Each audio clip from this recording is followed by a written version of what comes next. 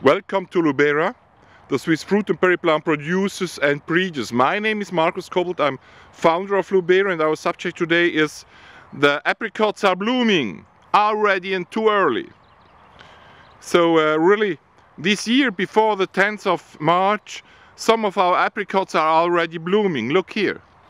That's a big old apricot mother tree and it's already blooming. It's not in full bloom, bloom has just started. Only about 10% of the buds are just blooming.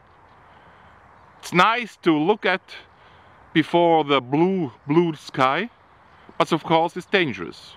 If this night it will be cold below uh, zero degree, we will have some damages on the fully open flowers. So look here, the fully open flowers like this, here, are very dangerous. It's very dangerous for them if it becomes below zero degree. They will be damaged. But on the other side, the boots here, for example here, yeah, here, they are not so susceptible. So here they can survive some minus degrees without too much problems.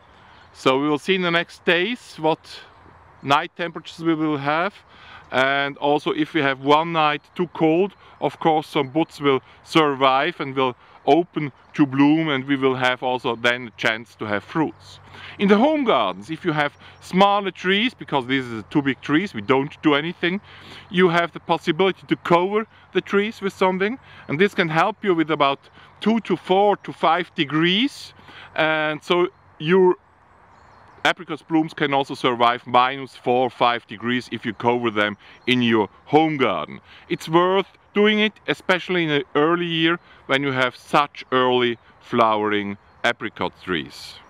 But of course here in this field with these many trees and with these big trees we don't do anything and we hope that the god of the weather will help us. If you have some experience with protecting or by protecting apricots against a spring frosts, share your experience below in the commentaries and of course go on gardening.